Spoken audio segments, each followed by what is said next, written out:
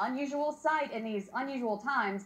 A pool party in Wuhan, China, the epicenter of the coronavirus outbreak.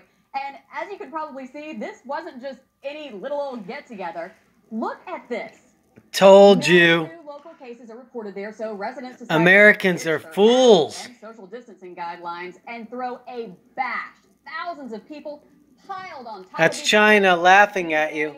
dancing. They're like, fool me once, fool me twice. You just got fucking took by the Chinese. Lockdown just four months ago.